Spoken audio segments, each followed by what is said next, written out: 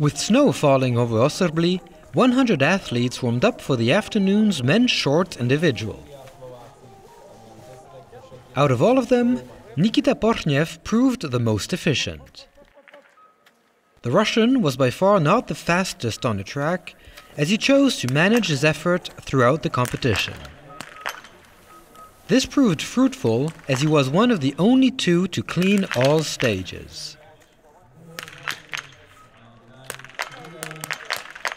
And for the first time in his senior career, he finished at the top of the podium. Following a clean first stage, Justus Strelow put pressure on himself by missing once at the first standing. But the German was reliable on the track and made up for that mistake by cleaning the following two stages. This was, however, not enough for him to claim the first position.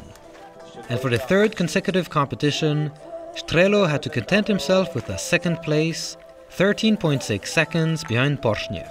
It's the third time in a row for me uh, to be on the second place, but I'm yeah just happy to have uh, another podium. Of course, one miss less is always good, or is al would always be better. But yeah, today I'm happy with my second place, and yeah. Collecting one miss at the second prone and another at the second standing, Endre Strömsheim had to rely on his skiing to aim for the podium. The Norwegian did just that and claimed the third position.